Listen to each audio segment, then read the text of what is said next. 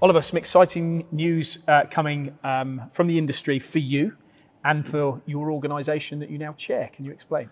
Yep, so on October the 1st, I took over as chair of BARA, the British Automation Robotics Association, that sits under Automate UK here in the UK. So BARA has been around for a very long time. Um, they work um, as part of the trade organisation, um, supporting robot adoption, automation adoption across the UK.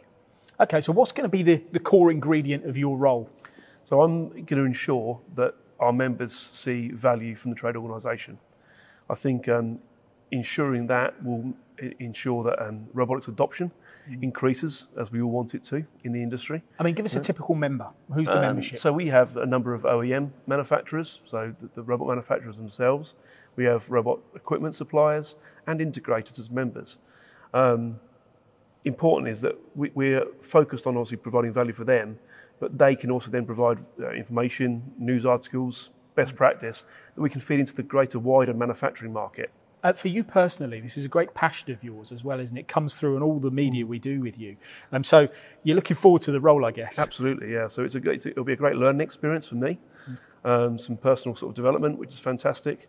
Um, and yeah, putting that enthusiasm into a role that I think will make a huge difference in terms of the, the automation adoption in the UK going forward. Good stuff. Good luck. Yeah, thank you.